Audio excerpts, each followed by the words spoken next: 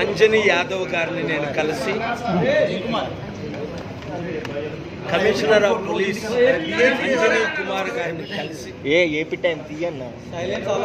దాదాపు ఒక one hour వారితో నేను నా విషయాలన్నీ చెప్పాను.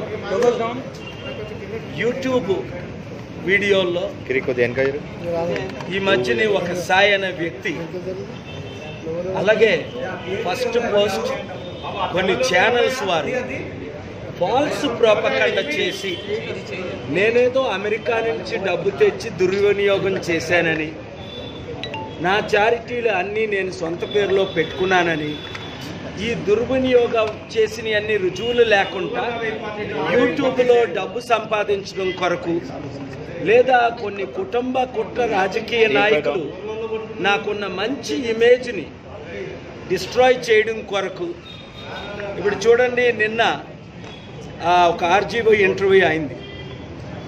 ఆ ఇంటర్వ్యూలో కిందన కామెంట్స్ చూడండి నూటికి తొంభై శాతం నాకు పాజిటివ్గా డౌన్ మొబైల్ ఆ యాంకర్ని బూతులు తిడుతూ ఆర్జీవీని బూతులు తిడుతూ నూటికి తొంభై శాతం ఈ తెలంగాణలో ఆంధ్రాలో తెలుగు ప్రజలు. పాల్ గారు చెప్పిందే రైటు. అని ఒక వంద నూట యాభై కామెంట్స్ నేను చదివాను. ఒక్కరు కూడా ఆర్జీవీకి గానికి ఆర్జీవీకి కానీ ప్లీజ్ ఆర్జీవీకి కానీ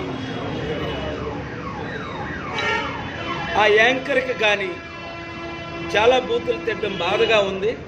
మీడియా వారు ఏం చేయాలంటే మంచిని ప్రజలకున్న నీతిని నిజాయితీని నాకున్న ఫాలోయింగ్ని ఈరోజు డెబ్బై తొమ్మిది సీట్లలో ఫస్ట్ ప్లేస్లో ఉన్నామన్నాం మీడియాని ఆంధ్రాలో ఇన్వెస్టిగేట్ చేయమన్నాం అంజని కుమార్ గారు ఎష్యూరెన్స్ ఇచ్చారు.